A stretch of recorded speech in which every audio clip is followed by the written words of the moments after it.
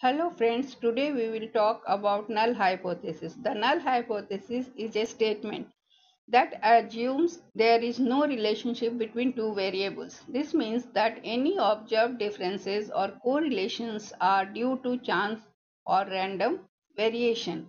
So we can understand with an example. If we want to test whether a new drug improves memory, our null hypothesis would be that the drug has no effect on memory.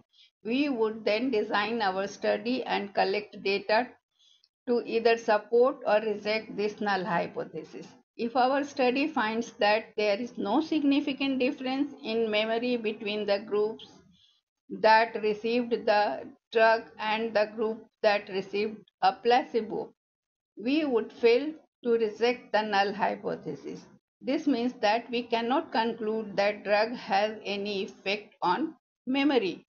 On the other hand, if our study finds a significant difference in memory between two groups, we will reject the null hypothesis. This means that we can conclude that the drug does have an effect on memory.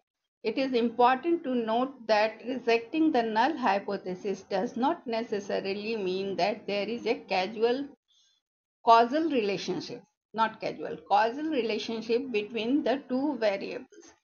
It simply means that there is evidence to suggest that they are related in some way.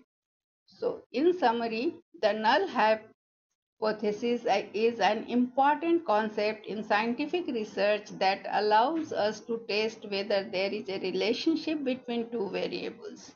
By setting up a null hypothesis, we can design studies that provide evidence for or against it helping us to draw conclusions about the world around us.